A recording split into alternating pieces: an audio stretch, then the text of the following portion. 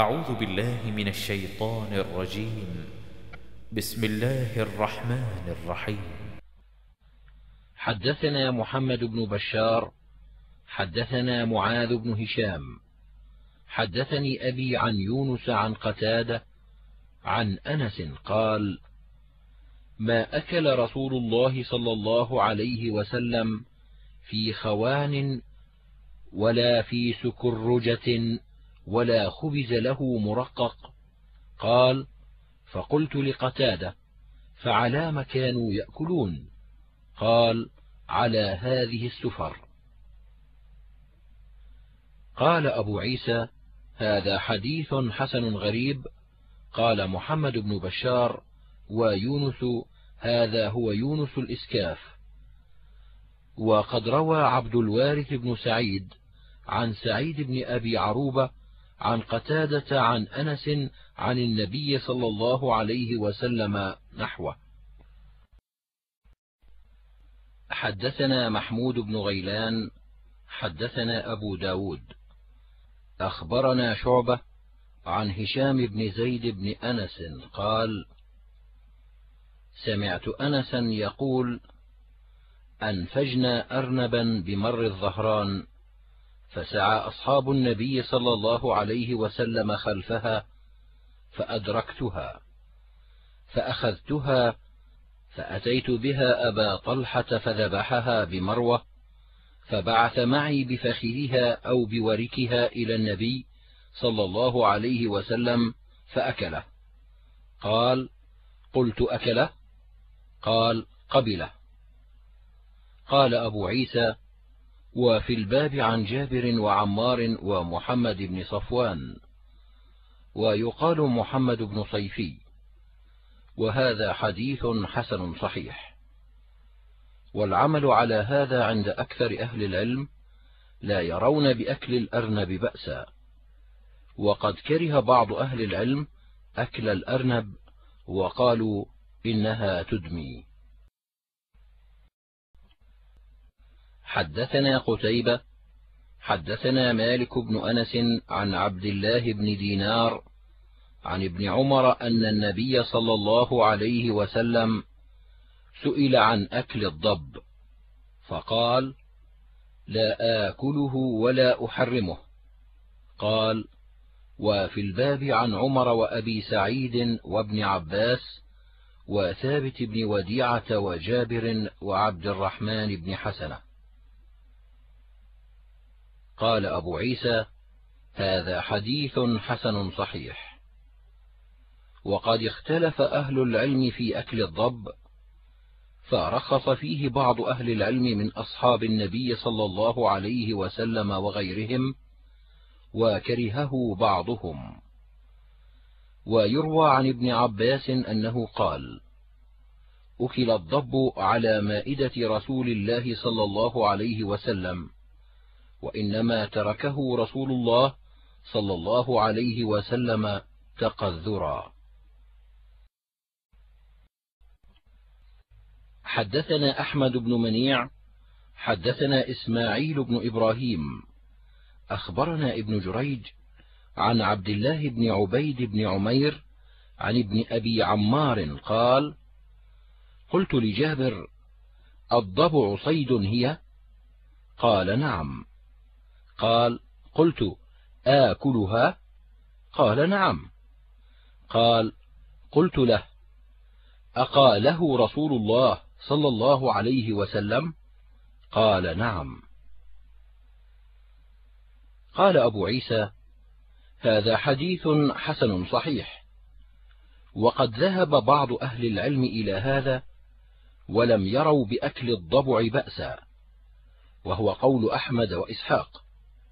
وروي عن النبي صلى الله عليه وسلم حديث في كراهية أكل الضبع وليس إسناده بالقوي. وقد كره بعض أهل العلم أكل الضبع وهو قول ابن المبارك. قال يحيى القطان وروى جرير بن حازم هذا الحديث عن عبد الله بن عبيد بن عمير عن ابن أبي عمار عن جابر عن عمر قوله. وحديث ابن جريج أصح وابن أبي عمار هو عبد الرحمن بن عبد الله بن أبي عمار المكي. حدثنا هناد حدثنا أبو معاوية عن إسماعيل بن مسلم عن عبد الكريم بن أبي المخارق أبي أمية عن حبان بن جزء عن أخيه خزيمة بن جزء قال سألت رسول الله صلى الله عليه وسلم عن أكل الضبع فقال أو يأكل الضبع أحد؟ وسألته عن الذئب فقال أو يأكل الذئب أحد فيه خير؟ قال أبو عيسى هذا حديث ليس إسناده بالقوي لا نعرفه إلا من حديث إسماعيل بن مسلم عن عبد الكريم أبي أمية. وقد تكلم بعض أهل الحديث في إسماعيل وعبد الكريم أبي أمية وهو عبد الكريم بن قيس بن أبي المخارق وعبد الكريم بن مالك الجزري ثقة.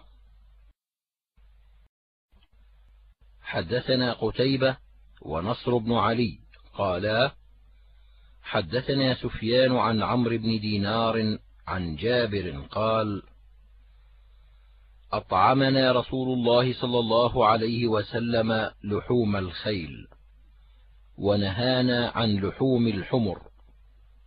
قال وفي الباب عن أسماء بنت أبي بكر. قال أبو عيسى وهذا حديث حسن صحيح. وهكذا روى غير واحد عن عمرو بن دينار عن جابر. ورواه حماد بن زيد عن عمرو بن دينار عن محمد بن علي عن جابر. ورواية ابن عيينة أصح. قال وسمعت محمدا يقول سفيان بن عيينة أحفظ من حماد بن زيد.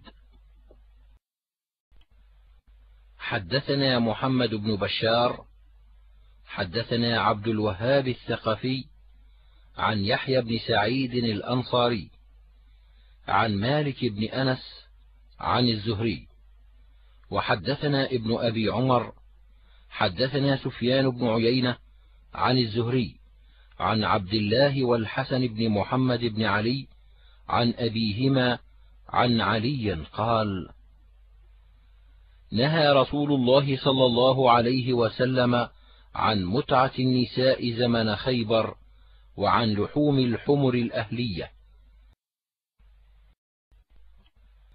حدثنا سعيد بن عبد الرحمن المخزومي. حدثنا سفيان عن الزهري عن عبد الله والحسن هما ابنا محمد بن الحنفية وعبد الله بن محمد يكنى أبا هاشم. قال الزهري وكان أرضاهما الحسن بن محمد فذكر نحوه وقال غير سعيد بن عبد الرحمن عن ابن عيينة وكان أرضاهما عبد الله بن محمد. قال أبو عيسى هذا حديث حسن صحيح. حدثنا أبو كريب حدثنا حسين بن علي الجعفي عن زائدة عن محمد بن عمرو عن أبي سلمة عن أبي هريرة أن رسول الله صلى الله عليه وسلم حرم يوم خيبر كل ذي ناب من السباع والمجثمة والحمار الإنسي. قال وفي الباب عن علي وجابر والبراء وابن أبي أوفى وأنس والعرباض بن سارية وأبي ثعلبة وابن عمر وأبي سعيد. قال أبو عيسى هذا حديث حسن صحيح. وروى عبد العزيز بن محمد وغيره عن محمد بن عمرو هذا الحديث. وإنما ذكروا حرفا واحدا نهى رسول الله صلى الله عليه وسلم عن كل ذي ناب من السباع. حدثنا زيد بن أخزم الطائي حدثنا سلم بن قتيبة حدثنا شعبة عن أيوب عن أبي قلابة عن أبي ثعلبة قال سئل رسول الله صلى الله عليه وسلم عن قدور المجوس فقال أنقوها غسلا واطبخوا فيها. ونهى عن كل سبع ذي ناب. قال أبو عيسى هذا حديث مشهور من حديث أبي ثعلبة وروي عنه من غير هذا الوجه. وأبو ثعلبة اسمه جرثوب ويقال جرهم ويقال ناشب. وقد ذكر هذا الحديث عن أبي قلابة عن أبي أسماء الرحبي. عن أبي ثعلبة. حدثنا علي بن عيسى بن يزيد البغدادي. حدثنا عبيد الله بن محمد القرشي. حدثنا حماد بن سلمة عن أيوب وقتادة عن أبي قلابة عن أسماء الرحبي عن أبي ثعلبة الخشني أنه قال يا رسول الله إنا بأرض أهل الكتاب فنطبخ في قدورهم ونشرب في آنيتهم. فقال رسول الله صلى الله عليه وسلم إن لم تجدوا غيرها فارحضوها بالماء. ثم قال يا رسول الله إنا بأرض صيد فكيف نصنع؟ قال إذا أرسلت كلبك المكلب وذكرت اسم الله فقتل فكل وإن كان غير مكلب فذكي فكل وإذا رميت بسهمك وذكرت اسم الله فقتل فكل. قال أبو عيسى هذا حديث حسن صحيح. حدثنا سعيد بن عبد الرحمن المخزومي وأبو عمار قالا حدثنا سفيان عن الزهري عن عبيد الله عن ابن عباس عن ميمونة أن فأرة وقعت في سمن فماتت فسئل عنها النبي صلى الله عليه وسلم فقال ألقوها وما حولها وكلوه. قال وفي الباب عن أبي هريرة. قال أبو عيسى هذا حديث حسن صحيح. وقد روي هذا الحديث عن الزهري عن عبيد الله عن ابن عباس أن النبي صلى الله عليه وسلم سئل ولم يذكروا فيه عن ميمونة وحديث ابن عباس عن ميمونة أصح. وروى معمر عن الزهري عن سعيد بن المسيب عن أبي هريرة عن النبي صلى الله عليه وسلم نحوه وهو حديث غير محفوظ. قال وسمعت محمد بن إسماعيل يقول وحديث معمر عن الزهري عن سعيد بن المسيب عن أبي هريرة عن النبي صلى الله عليه وسلم. وذكر فيه أنه سئل عنه فقال إذا كان جامدا فألقوها وما حولها وإن كان مائعا فلا تقربوه. هذا خطأ أخطأ فيه معمر قال والصحيح حديث الزهري عن عبيد الله عن ابن عباس عن ميمونة.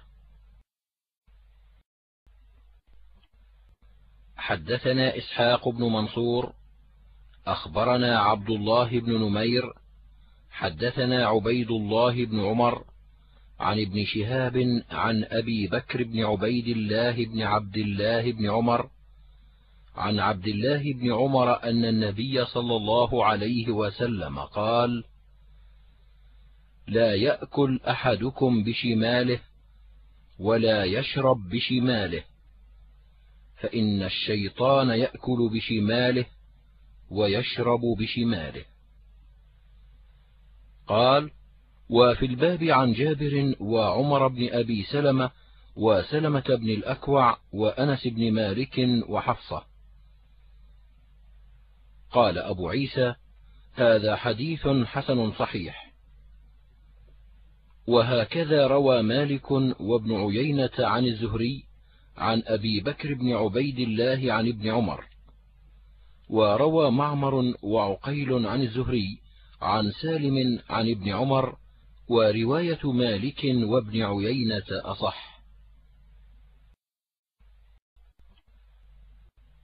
حدثنا عبد الله بن عبد الرحمن قال حدثنا جعفر بن عون عن سعيد بن أبي عروبة عن معمر عن الزهري عن سالم عن أبيه أن رسول الله صلى الله عليه وسلم قال إذا أكل أحدكم فليأكل بيمينه وليشرب بيمينه فإن الشيطان يأكل بشماله ويشرب بشماله. حدثنا محمد بن عبد الملك بن أبي الشوارب حدثنا عبد العزيز بن المختار عن سهيل بن أبي صالح عن أبيه عن أبي هريرة قال قال رسول الله صلى الله عليه وسلم إذا أكل أحدكم فليلعق أصابعه فإنه لا يدري في أيتهن البركة. قال وفي الباب عن جابر وكعب بن مالك وأنس. قال أبو عيسى هذا حديث حسن غريب لا نعرفه إلا من هذا الوجه من حديث سهيل. وسألت محمدا عن هذا الحديث فقال هذا حديث عبد العزيز من المختلف لا يعرف إلا من حديثه. حدثنا قتيبة حدثنا ابن لهيعة عن أبي الزبير عن جابر أن النبي صلى الله عليه وسلم قال إذا أكل أحدكم طعاما فسقطت لقمة فليمط ما رابه منها ثم ليطعمها ولا يدعها للشيطان. قال وفي الباب عن أنس. حدثنا الحسن بن علي الخلال حدثنا عفان بن مسلم حدثنا حماد بن سلمة حدثنا ثابت عن أنس أن النبي صلى الله عليه وسلم كان إذا أكل طعاما لعق أصابعه الثلاث وقال إذا ما وقعت لقمة أحدكم فليمط عنها الأذى وليأكلها ولا يدعها للشيطان. وأمرنا أن نسلت الصحفة وقال إنكم لا تدرون في أي طعامكم البركة. قال أبو عيسى هذا حديث حسن غريب صحيح.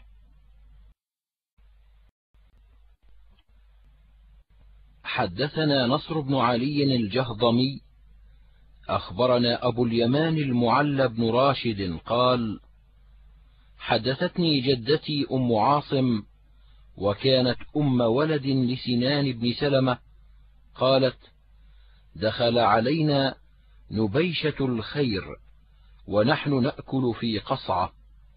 فحدثنا أن رسول الله صلى الله عليه وسلم قال من أكل في قصعة ثم لحسها استغفرت له القصعة. قال أبو عيسى هذا حديث غريب لا نعرفه إلا من حديث المعلى بن راشد وقد روى يزيد بن هارون وغير واحد من الأئمة عن المعلى بن راشد هذا الحديث. حدثنا أبو رجاء حدثنا جرير عن عطاء بن السائب عن سعيد بن جبير عن ابن عباس أن النبي صلى الله عليه وسلم قال: البركة تنزل وسط الطعام، فكلوا من حافتيه ولا تأكلوا من وسطه. قال أبو عيسى: هذا حديث حسن صحيح، إنما يعرف من حديث عطاء بن السائب وقد روى شعبة والثوري عن عطاء بن السائب. وفي الباب عن ابن عمر. حدثنا إسحاق بن منصور أخبرنا يحيى بن سعيد القطان عن ابن جريج. حدثنا عطاء عن جابر قال قال رسول الله صلى الله عليه وسلم من أكل من هذه قال أول مرة الثوم ثم قال الثوم والبصل والكراث فلا يقربنا في مسجدنا وحديث ابن عباس عن ميمونة أصح. قال أبو عيسى هذا حديث حسن صحيح قال وفي الباب عن عمر وأبي أيوب وأبي هريرة وأبي سعيد وجابر بن سمرة وقرة بن إياس المزني وابن عمر. حدثنا محمود بن غيلان حدثنا أبو داود. أنبأنا شعبة عن سماك بن حرب. سمع جابر بن سمرة يقول نزل رسول الله صلى الله عليه وسلم على أبي أيوب وكان إذا أكل طعاما بعث إليه بفضله. فبعث إليه يوما بطعام ولم يأكل منه النبي صلى الله عليه وسلم. فلما أتى أبو أيوب النبي صلى الله عليه وسلم فذكر ذلك له فقال فيه ثوم. فقال يا رسول الله أحرام هو؟ قال لا ولكني أكرهه من أجل ريحه. قال أبو عيسى هذا حديث حسن صحيح. حدثنا محمد بن مدوية حدثنا مسدد حدثنا الجراح بن مليح والد وكيع عن أبي إسحاق عن شريك بن حنبل عن علي أنه قال نهي عن أكل الثوم إلا مطبوخا. حدثنا هناد حدثنا وكيع عن أبيه عن أبي إسحاق عن شريك بن حنبل عن علي قال لا يصلح أكل الثوم إلا مطبوخا. قال أبو عيسى هذا الحديث ليس إسناده بذلك القوي وقد روي هذا عن علي قوله وروي عن شريك بن حنبل عن النبي صلى الله عليه وسلم مرسلا قال محمد الجراح بن مليح صدوق والجراح بن الضحاك مقارب الحديث.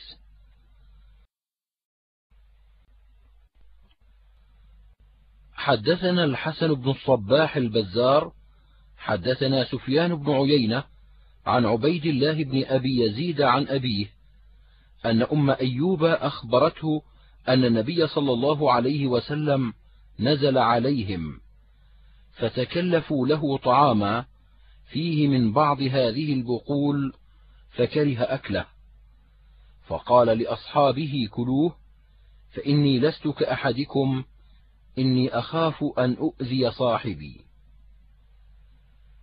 قال أبو عيسى هذا حديث حسن صحيح غريب وأم أيوب هي امرأة أبي أيوب الأنصاري. حدثنا محمد بن حميد حدثنا زيد بن الحباب عن أبي خلدة عن أبي العالية قال الثوم من طيبات الرزق. وأبو خلدة اسمه خالد بن دينار وهو ثقة عند أهل الحديث. وقد أدرك أنس بن مالك وسمع منه وأبو العالية اسمه رفيع هو الرياحي. قال عبد الرحمن بن مهدي كان أبو خلدة خيارا مسلما.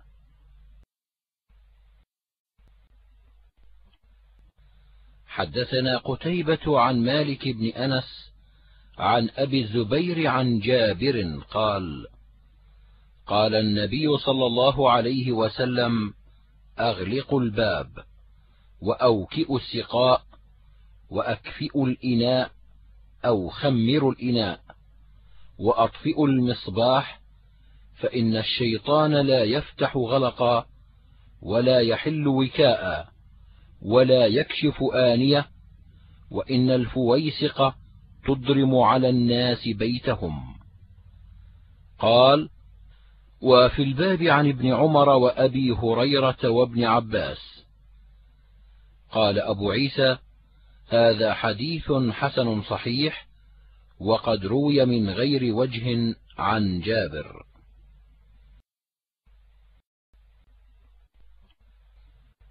حدثنا ابن أبي عمر وغير واحد قالوا حدثنا سفيان عن الزهري عن سالم عن أبيه قال قال رسول الله صلى الله عليه وسلم لا تتركوا النار في بيوتكم حين تنامون. قال أبو عيسى هذا حديث حسن صحيح. حدثنا محمود بن غيلان حدثنا أبو أحمد الزبيري وعبيد الله عن الثوري عن جبله بن سحيم عن ابن عمر قال نهى رسول الله صلى الله عليه وسلم أن يقرن بين التمرتين حتى يستأذن صاحبه.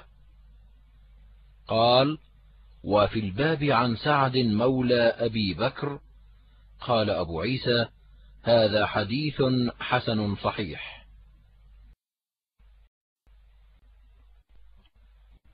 حدثنا محمد بن سهيل بن عسكر البغدادي وعبد الله بن عبد الرحمن قالا حدثنا يحيى بن حسان حدثنا سليمان بن بلال عن هشام بن عروة عن أبيه عن عائشة عن النبي صلى الله عليه وسلم قال بيت لا تمر فيه جياع أهله. قال وفي الباب عن سلمى امرأة أبي رافع. قال أبو عيسى هذا حديث حسن غريب لا نعرفه من حديث هشام بن عروة إلا من هذا الوجه. قال وسألت البخاري عن هذا الحديث فقال لا أعلم أحدا رواه غير يحيى بن حسان.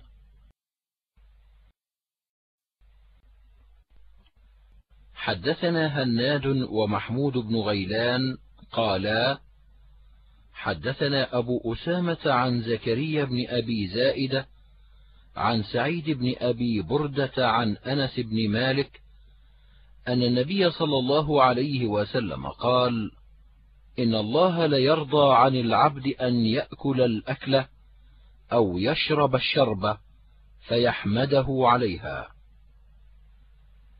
قال وفي الباب عن عقبة بن عامر وأبي سعيد وعائشة وأبي أيوب وأبي هريرة.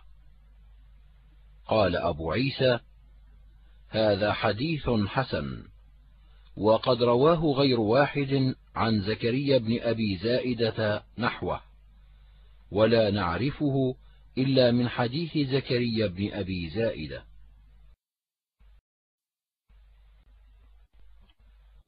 حدثنا أحمد بن سعيد الأشقر وإبراهيم بن يعقوب قالا حدثنا يونس بن محمد حدثنا المفضل بن فضالة عن حبيب بن الشهيد عن محمد بن المنكدر عن جابر بن عبد الله أن رسول الله صلى الله عليه وسلم أخذ بيد مجذوم فأدخله معه في القصعة ثم قال كل بسم الله ثقة بالله وتوكلا عليه. قال أبو عيسى هذا حديث غريب لا نعرفه إلا من حديث يونس بن محمد عن المفضل بن فضالة. والمفضل بن فضالة هذا شيخ بصري والمفضل بن فضالة شيخ آخر بصري أوثق من هذا وأشهر. وقد روى شعبة هذا الحديث عن حبيب بن الشهيد عن ابن بريدة أن ابن عمر أخذ بيد مجدوم وحديث شعبة أثبت عندي وأصح.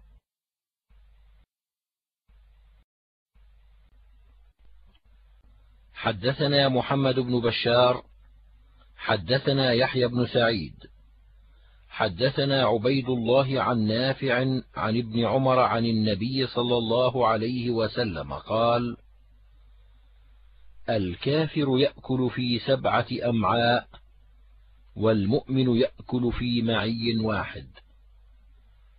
قال أبو عيسى هذا حديث حسن صحيح. قال وفي الباب عن أبي هريرة وأبي سعيد وأبي بصرة الغفاري وأبي موسى وجهجاه الغفاري وميمونة وعبد الله بن عمرو.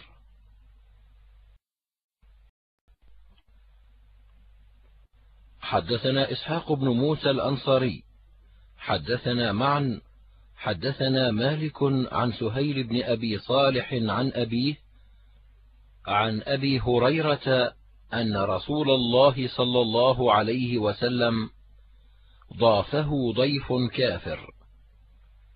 فأمر له رسول الله صلى الله عليه وسلم بشاة فحلبت فشرب ثم أخرى فشربه ثم أخرى فشربه حتى شرب حلاب سبع شياه.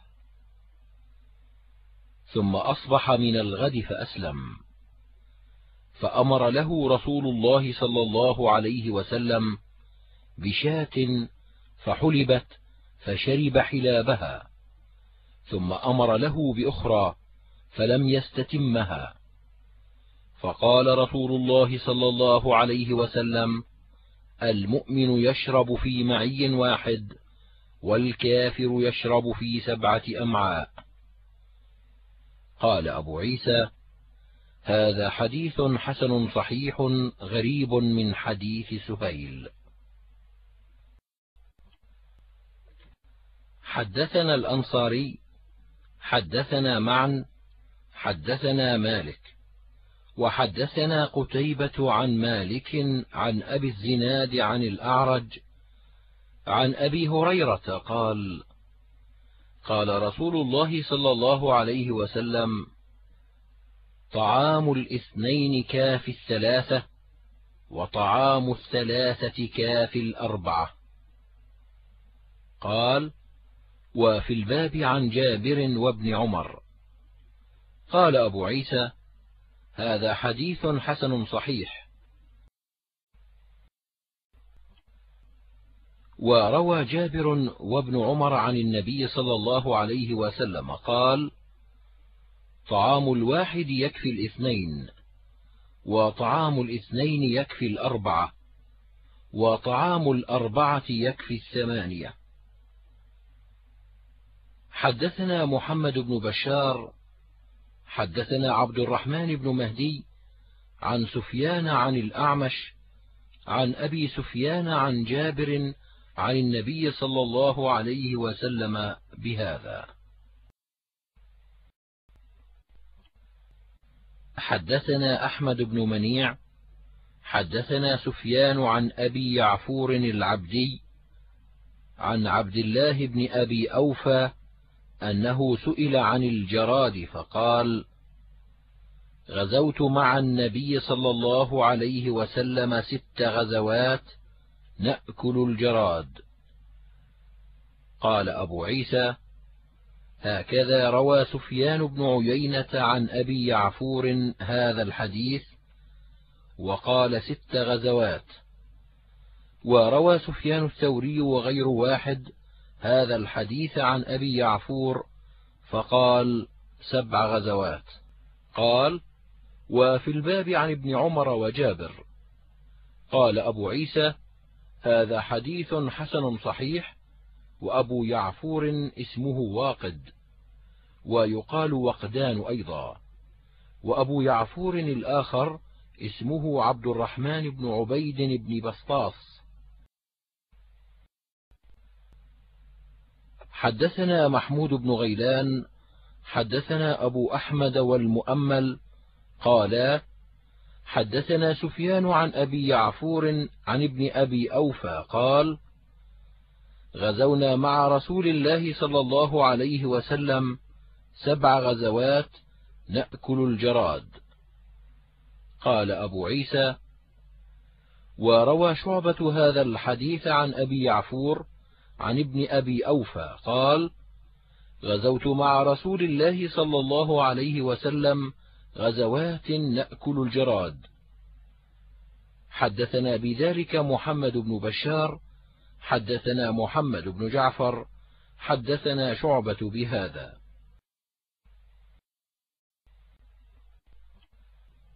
حدثنا محمود بن غيلان حدثنا أبو النضر هاشم بن القاسم قال حدثنا زياد بن عبد الله بن علاثة عن موسى بن محمد بن إبراهيم التيمي عن أبيه عن جابر بن عبد الله وأنس بن مالك قالا كان رسول الله صلى الله عليه وسلم إذا دعا على الجراد قال اللهم أهلك الجراد اقتل كباره وأهلك صغاره وأفسد بيضه واقطع دابره وخذ بأفواههم عن معاشنا وأرزاقنا إنك سميع الدعاء. قال فقال رجل يا رسول الله كيف تدعو على جند من أجناد الله بقطع دابره؟ قال فقال رسول الله صلى الله عليه وسلم إنها نثرة حوت في البحر. قال أبو عيسى هذا حديث غريب لا نعرفه إلا من هذا الوجه. وموسى بن محمد بن إبراهيم التيمي قد تكلم فيه وهو كثير الغرائب والمناكير. وأبوه محمد بن إبراهيم ثقة وهو مدني.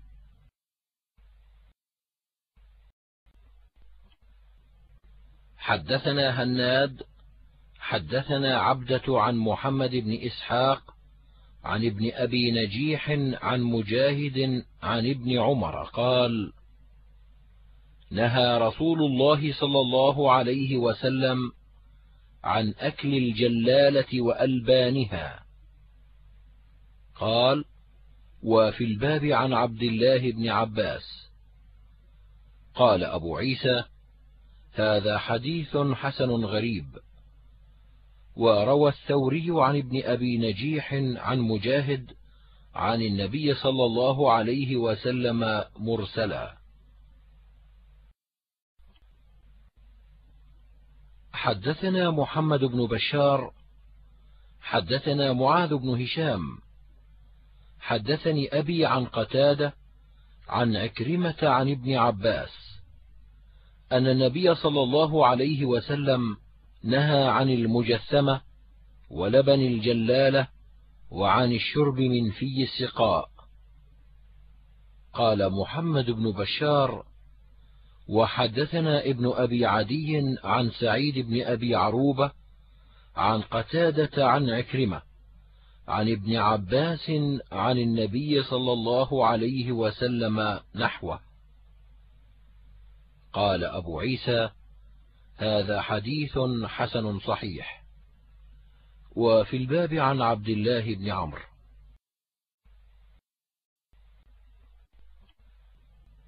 حدثنا زيد بن أخزم الطائي حدثنا أبو قتيبة عن أبي العوام عن قتادة عن زهدم الجرمي قال دخلت على أبي موسى وهو يأكل دجاجة فقال أدن فكل فإني رأيت رسول الله صلى الله عليه وسلم يأكله. قال أبو عيسى هذا حديث حسن. وقد روي هذا الحديث من غير وجه عن زهدم ولا نعرفه إلا من حديث زهدم. وأبو العوام هو عمران القطان.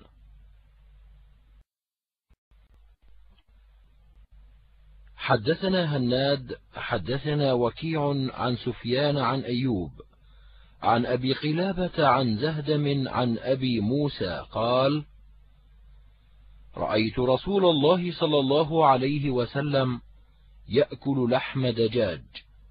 قال وفي الحديث كلام أكثر من هذا وهذا حديث حسن صحيح. وقد روى أيوب السختياني هذا الحديث أيضا عن القاسم التميمي وعن أبي قلابة عن زهدم.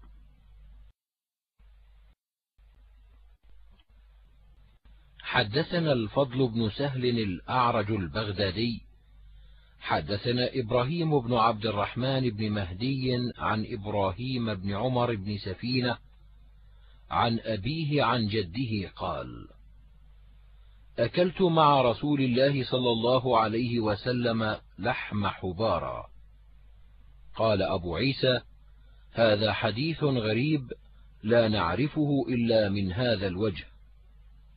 وإبراهيم بن عمر بن سفينة روى عنه ابن أبي فديك ويقال بريه بن عمر بن سفينة.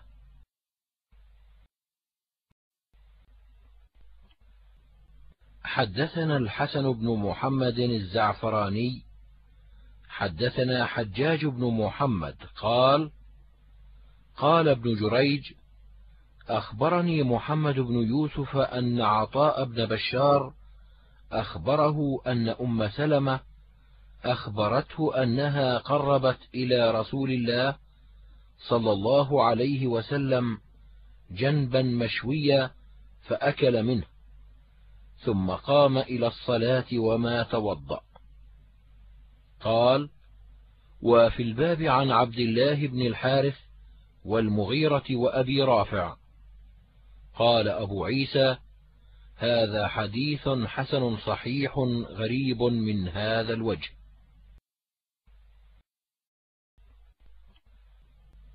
حدثنا قتيبة حدثنا شريك عن علي بن الأقمر عن أبي جحيفة قال قال رسول الله صلى الله عليه وسلم أما أنا فلا آكل متكئا. قال وفي الباب عن علي وعبد الله بن عمرو وعبد الله بن عباس.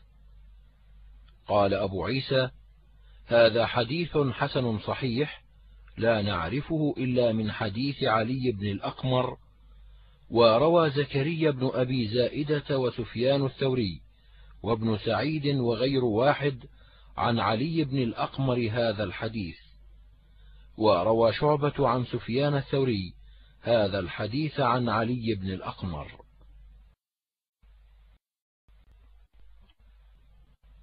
حدثنا سلمة بن شبيب ومحمود بن غيلان وأحمد بن إبراهيم الدورقي قالوا حدثنا أبو أسامة عن هشام بن عروة عن أبيه عن عائشة قالت كان النبي صلى الله عليه وسلم يحب الحلواء والعسل. هذا حديث حسن صحيح غريب وقد رواه علي بن مسهر عن هشام بن عروة وفي الحديث كلام أكثر من هذا.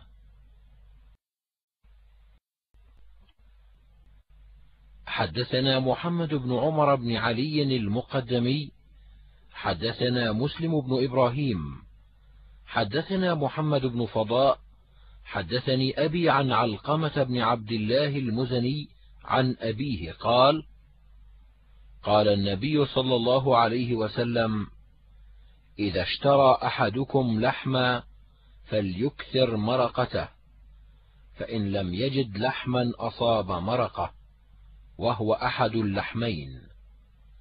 وفي الباب عن أبي ذر قال أبو عيسى هذا حديث غريب لا نعرفه إلا من هذا الوجه من حديث محمد بن فضاء.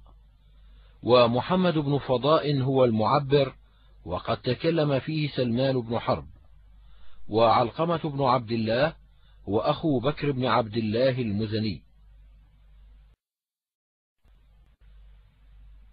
حدثنا الحسين بن علي بن الأسود البغدادي حدثنا عمرو بن محمد العنقزي حدثنا إسرائيل عن صالح بن رستم أبي عامر الخزاز عن أبي عمران الجوني عن عبد الله بن الصامت عن أبي ذر قال قال رسول الله صلى الله عليه وسلم لا يحقرن أحدكم شيئا من المعروف وإن لم يجد فليلق أخاه بوجه طلق وإن اشتريت لحما أو طبخت قدرا فأكثر مرقته واغرف لجارك منه.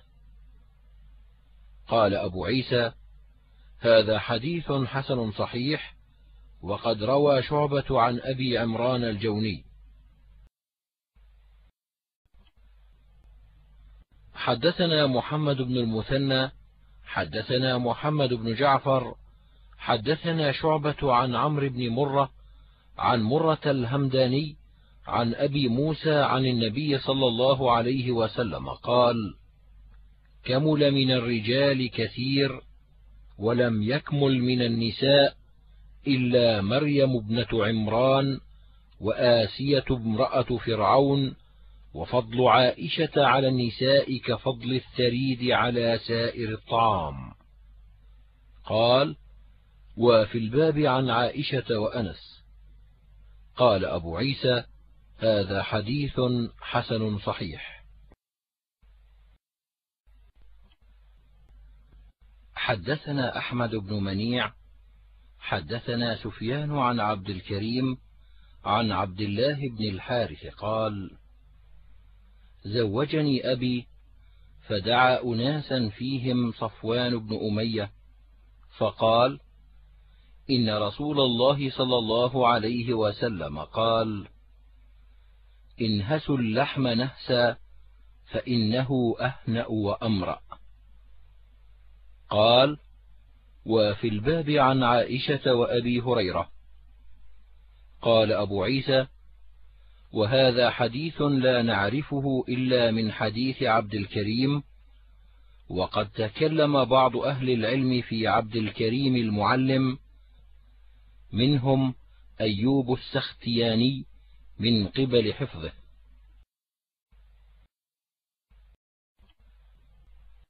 حدثنا محمود بن غيلان حدثنا عبد الرزاق. أخبرنا معمر عن الزهري عن جعفر بن عمرو بن أمية الضمري عن أبيه أنه رأى النبي صلى الله عليه وسلم احتز من كتف شاة فأكل منها ثم مضى إلى الصلاة ولم يتوضأ. قال أبو عيسى هذا حديث حسن صحيح. وفي الباب عن المغيرة بن شعبة.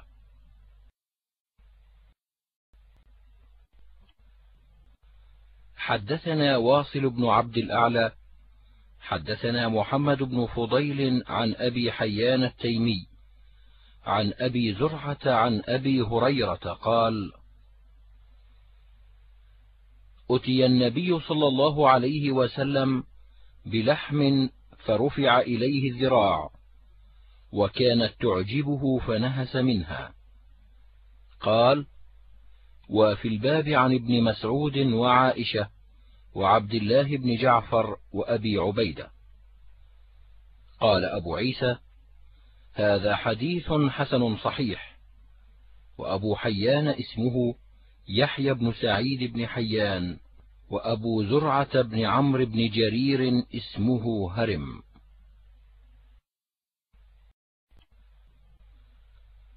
حدثنا الحسن بن محمد الزعفراني حدثنا يحيى بن عباد أبو عباد حدثنا فليح بن سليمان عن عبد الوهاب بن يحيى من ولد عباد بن عبد الله بن الزبير عن عبد الله بن الزبير عن عائشة قالت ما كان الذراع أحب اللحم إلى رسول الله صلى الله عليه وسلم ولكن كان لا يجد اللحم إلا غبا فكان يجعل إليه لأنه أعجلها نضجا.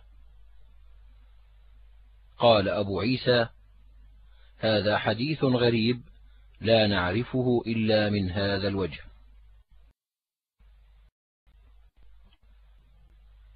حدثنا الحسن بن عرفة حدثنا مبارك بن سعيد هو أخو سفيان بن سعيد الثوري عن سفيان عن أبي الزبير عن جابر عن النبي صلى الله عليه وسلم قال نعم الإدام الخل.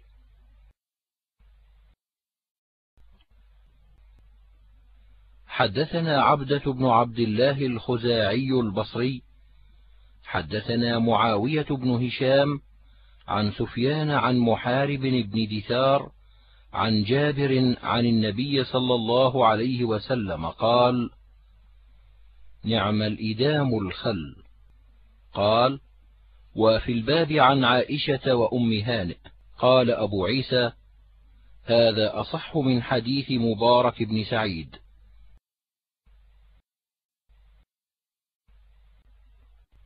حدثنا محمد بن سهل بن عسكر البغدادي. حدثنا يحيى بن حسان.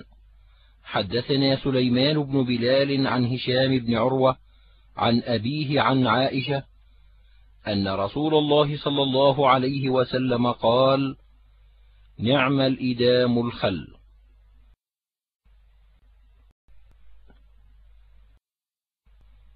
حدثنا عبد الله بن عبد الرحمن أخبرنا يحيى بن حسان عن سليمان بن بلال بهذا الإسناد نحوه إلا أنه قال نعم الإدام أو الأدم الخل. قال أبو عيسى هذا حديث حسن صحيح غريب من هذا الوجه لا نعرفه من حديث هشام بن عروة إلا من حديث سليمان بن بلال.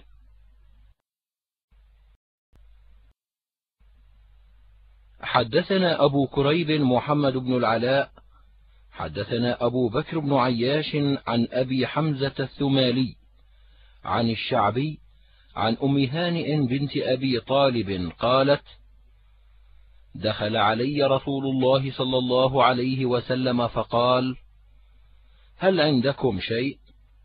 فقلت لا إلا كسر يابسة وخل. فقال النبي صلى الله عليه وسلم قربيه فما أقفر بيت من أدم فيه خل. قال أبو عيسى هذا حديث حسن غريب من هذا الوجه لا نعرفه من حديث أم هانئ إلا من هذا الوجه. وأبو حمزة الثمالي اسمه ثابت بن أبي صفية وأم هانئ ماتت بعد علي بن أبي طالب بزمان.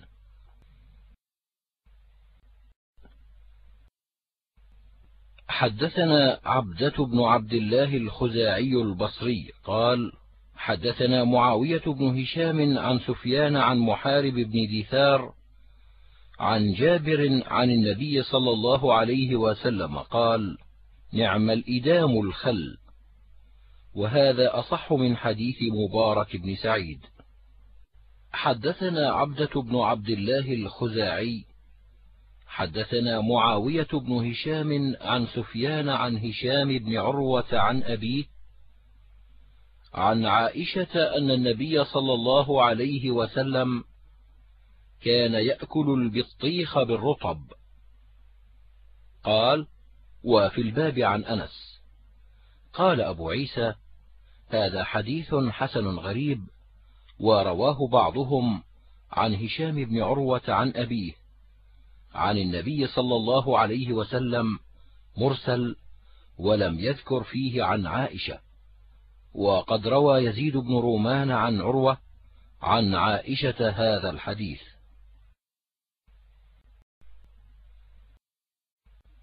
حدثنا إسماعيل بن موسى الفزاري حدثنا إبراهيم بن سعد عن أبيه عن عبد الله بن جعفر قال كان النبي صلى الله عليه وسلم يأكل القثاء بالرطب. قال أبو عيسى هذا حديث حسن صحيح غريب لا نعرفه إلا من حديث إبراهيم بن سعد.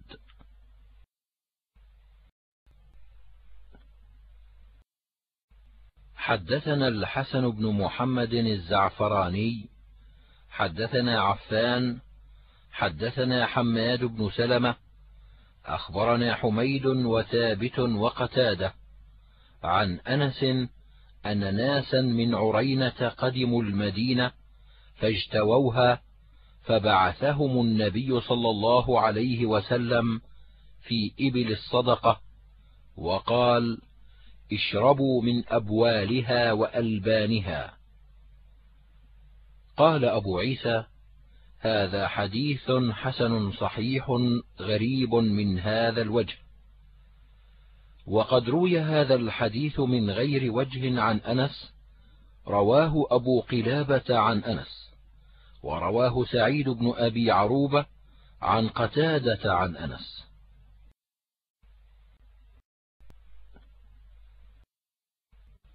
حدثنا يحيى بن موسى حدثنا عبد الله بن نمير حدثنا قيس بن الربيع قال وحدثنا قتيبة حدثنا عبد الكريم الجرجاني عن قيس بن الربيع المعنى واحد عن أبي هشام يعني الرماني عن زاذان عن سلمان قال قرأت في التوراة أن بركة الطعام الوضوء بعده فذكرت ذلك للنبي صلى الله عليه وسلم فأخبرته بما قرأت في التوراة. فقال رسول الله صلى الله عليه وسلم بركة الطعام الوضوء قبله والوضوء بعده. قال وفي الباب عن أنس وأبي هريرة. قال أبو عيسى لا نعرف هذا الحديث إلا من حديث قيس بن الربيع. وقيس بن الربيع يضعف في الحديث وأبو هاشم الرماني اسمه يحيى بن دينار.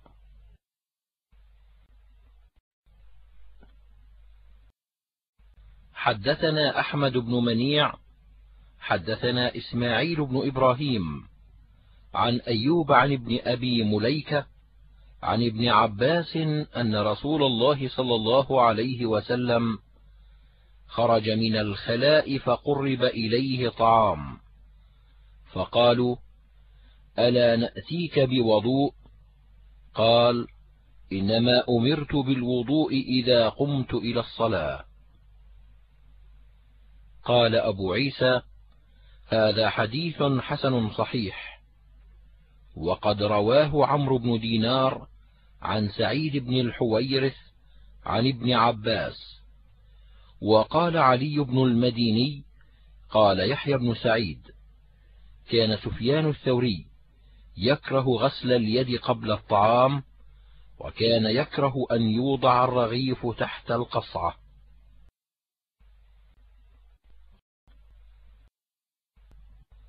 حدثنا قتيبة بن سعيد.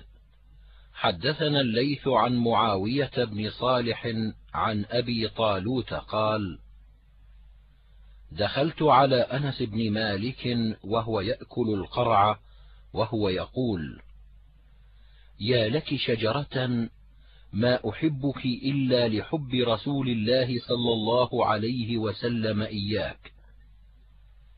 قال وفي الباب عن حكيم بن جابر عن أبيه.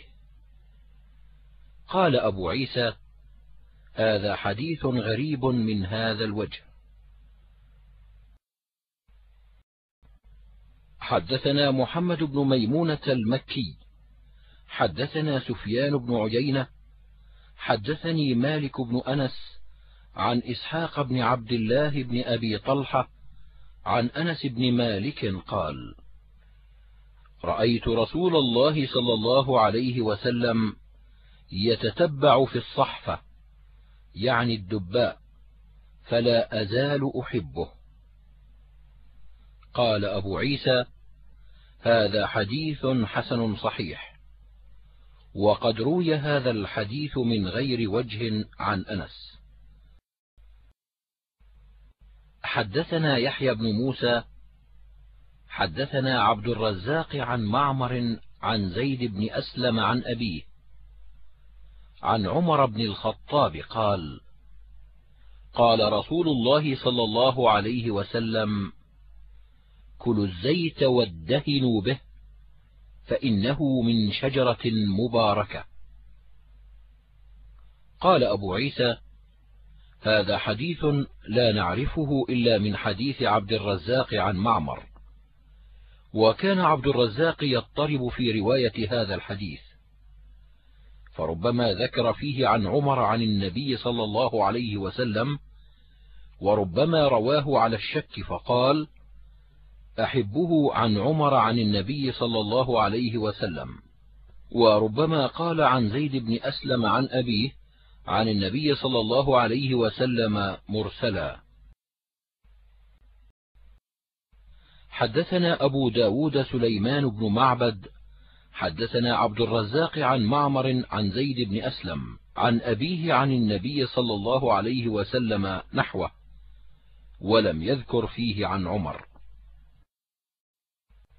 حدثنا محمود بن غيلان حدثنا أبو أحمد الزبيري وأبو نعيم قالا حدثنا سفيان عن عبد الله بن عيسى عن رجل يقال له عطاء من أهل الشام عن أبي أسيد قال قال النبي صلى الله عليه وسلم كلوا الزيت وادهنوا به فإنه من شجرة مباركة.